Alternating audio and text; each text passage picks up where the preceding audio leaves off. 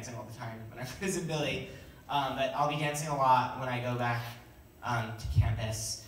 Um, but basically on my own time, I've been doing a lot of music production. So like my like dreams right now are kind of like lying, like they're heading more towards music um, than I guess past performance things I've done, which is kind of exciting for me because it's uh, I guess like a new passion that I found a little bit later.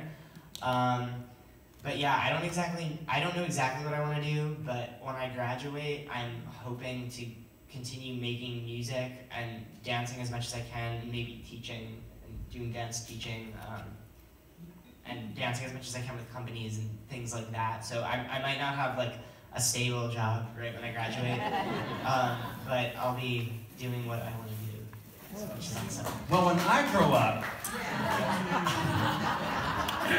Yeah, that was going to be my next question. Other questions?